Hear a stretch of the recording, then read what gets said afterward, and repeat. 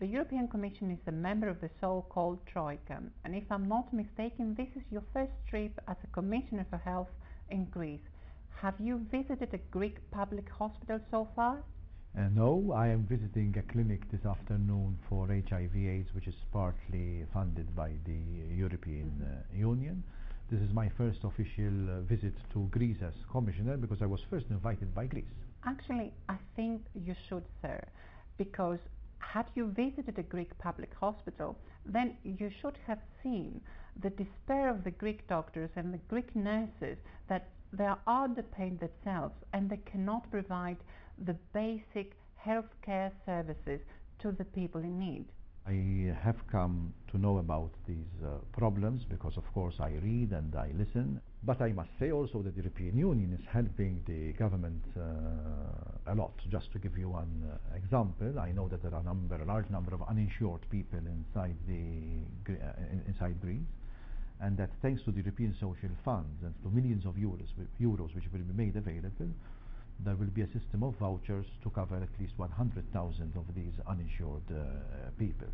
This, is, this goes to show the contribution of the European Union in this regard, but of course the primary responsibility of running the health system remains of member states.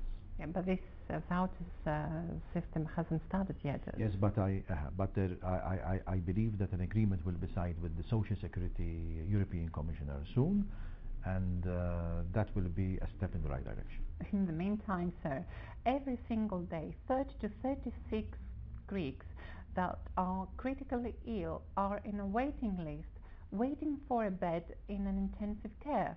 We do have 150, more than 150 uh, beds in an intensive care unit that cannot be used because of the nurses shortages. Any, every health system I know of has problems of uh, waiting lists. Um, of course, my intention is that, and this has been a message which I have delivered, that the debt crisis should not lead to a health crisis inside the European Union. Even now with the journalists, I said that the rich and the poor and the middle class are all entitled to the same basic uh, health care in the European Union. From the very first day um, that this economic crisis started in our country, uh, SKAI uh, Group has been next to the people that are in need and cannot provide for their families food and uh, or even drugs. With our campaign, Όλοι μαζί μπορούμε, we started to uh, support um, those that are less privileged in our society.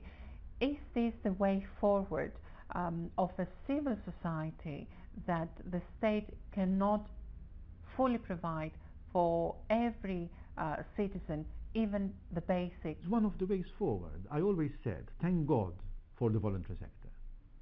It doesn't mean that the primary responsibility to provide these things is not in the hands of the state. But if the voluntary associations, or like this initiative from your SKAI Group, complements the state, this is something positive. It goes to show that civil society is not an enemy of the government or an adversary of the government, but complements and helps in the provision of healthcare. So this is something very positive, which should not be viewed as a criticism of the current health situation, but of complementing the public authorities in matters of health.